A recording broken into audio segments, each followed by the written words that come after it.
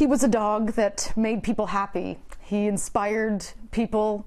He always had that glow about him, like he was smiling, and they could people could see happiness in him. And even though he was, you know, born different, without eyes, with that type of disability, you know, he was still able to give back. We really um, focused on working with children.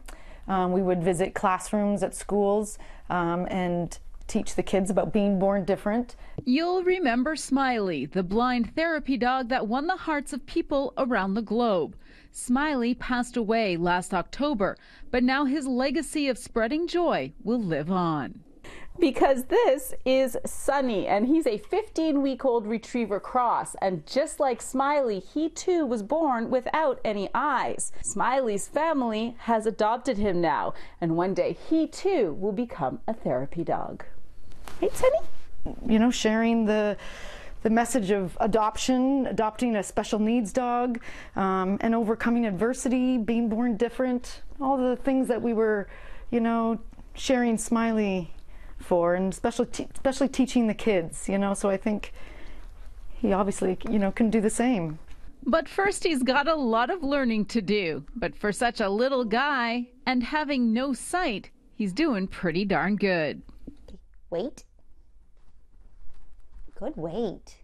Okay. Yeah. good.